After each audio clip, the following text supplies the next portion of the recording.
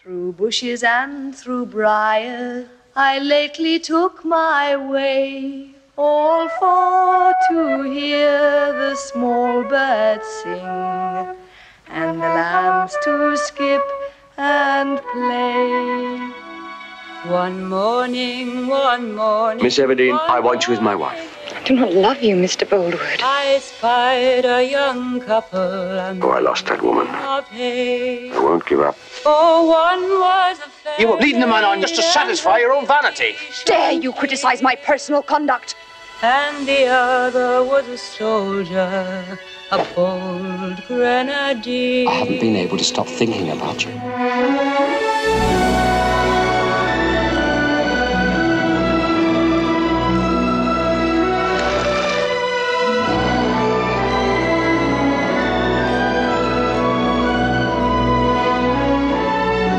Promise me you'll be my wife. I cannot promise.